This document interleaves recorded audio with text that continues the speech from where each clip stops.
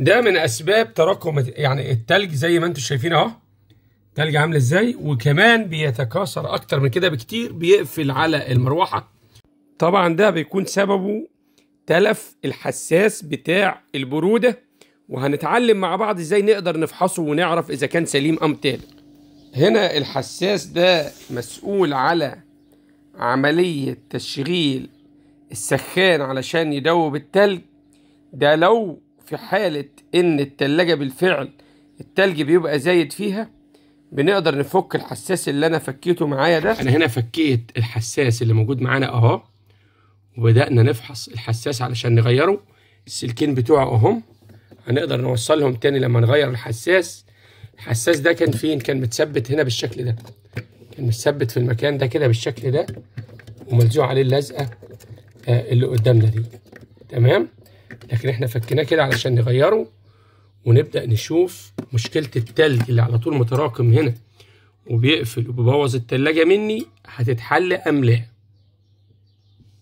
كده علشان نقدر نعمل فحص للحساس إذا كان سليم أم لا. أنا هنا لو جبت القفو على وضع البزر كده أهو وجيت أقيس هنا على الأطراف بتاعة الحساس كده مش هيديني أي قراءة ولا هيديني أي قفلة نهائيا. هنقول دلوقتي ليه؟ وإزاي نقدر نختبره إذا كان سليم أم لا. أنا علشان أقدر أختبر الحساس وأعرف إنه شغال أم لا لازم أعرضه لدرجة برودة عالية جدا. يبقى حالا هنوصل ده هنحطه كده في الفريزر ونبدأ نقيس بعد ما البرودة تسيطر على الحساس.